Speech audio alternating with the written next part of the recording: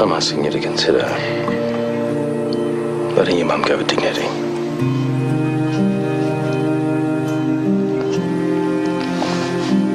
When do I have to decide? Whenever you're ready.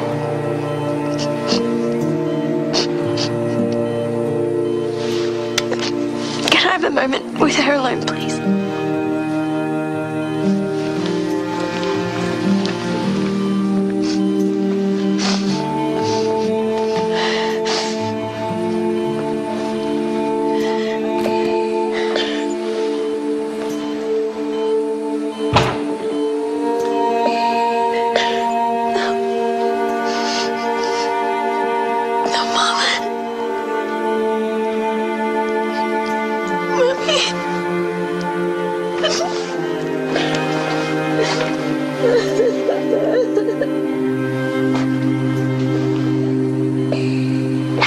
How can you ask her to make that decision? She's only a teenager. She's next of kin, Leah. She's 18, she's an adult.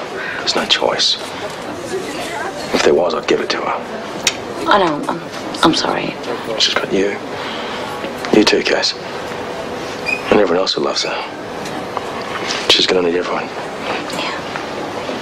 Uh-huh.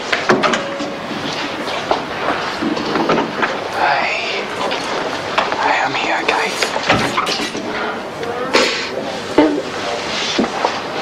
Did you tell him what's happening? Yes, I did. I'm sorry. Okay, you don't have to be sorry. I can't do this. I can't do this by myself. Where's Brett? He was at the police station. I need to talk to him. Okay, I'll go find him. Okay, will you be alright? You go. I'll take her home. I'll be as fast as I can.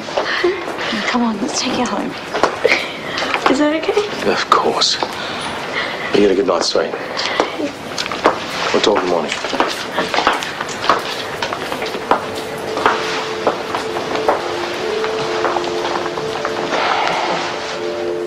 Brax, where have you been? I've been trying to call you. Sorry, Case. I've been down at the police station. Have they told you what's going on with Charlie? Yeah, well, they told me she made it through surgery. No, it's way more complicated than that. All right, well, let's go. No, listen to me. You need to talk to Ruby. Why? Wait, Case, don't stuff me around. Tell me what's going on with you. Doctors, they're saying. They're saying there's nothing more they can do for Charlie. And they've told Ruby she has to make the call about turning off her life support. You can't do this, Ruby. You can't just switch her off. What choice do I have? Well, I don't know. Uh, what about a second opinion? Because these doctors, they don't know everything. Well, can't we take her to another hospital? Brax, they've had other doctors in and they've all said the same thing. Yeah, but have you spoken to them? Brax. Have you? No, I didn't, but Right, so she could still wake up then. No one knows for sure either way. no, Brax, she will not wake up. Ruby, I'm asking you, please. Brax, I know you're upset, but this is only making things worse. Yeah, not if it saves Charlie's life, it's not. Yeah, but it won't. Can't you understand that? No, I, I, you can't just give up on her like this. I won't let you. Unfortunately, the decision's not up to you, mate. It's Ruby's. She's Charlie's next of kin. Yeah, but oh I'm. Brax, don't, don't do this. Brax, you know what? A a decision doesn't need to be made tonight, and I- think we should all just leave it at that. And, and I really think you should go. It's okay. No, Leah, you have to talk to her, and you have to tell her that it's it's not right. Please, just just go. I only want to do what's right for Charlie.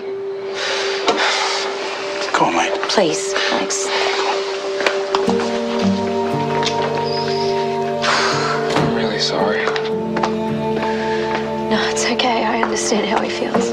Ruby, you know that this is your decision, right? And you'll know what the right thing is to do. Yeah.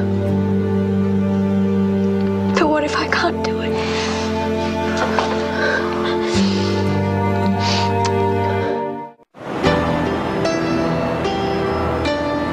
Yeah, bro, it's me. Um, really would like to talk to you. Um, so can you call me back when you can? Thanks.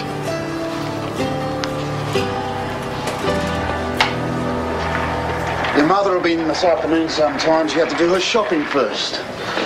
What are you doing? Is that him? The one that bashed you? Hey, don't you walk away from me. Look what you did to my kid. Look, I'm very sorry about that. I Could have handled things differently. Yeah, yeah, you could have. Like realising that your daughter's a liar and maybe you should have given her a hiding instead of Stu. Well, not hard to see where your son gets his conflict resolution skills from. What's that supposed to mean? Nothing. Doesn't mean anything. I'm tempted to give you a taste of your own medicine, Doc. Show you what it feels like to get a few bones broken. Don't you think there's been enough violence, Mr. Henderson? Yeah, you're not worth it. What are you looking at? Get back to your room. Are, are you all right? he's Yeah. Yeah, he's um, he's angry. It's understandable. Has he been all right?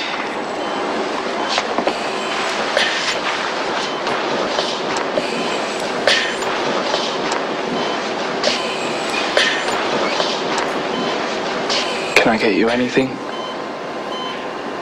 Coffee? Something to eat?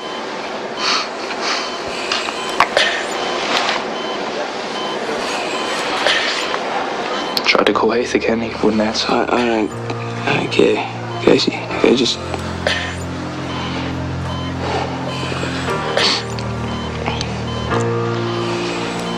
Okay, just leave us alone, will you? Please you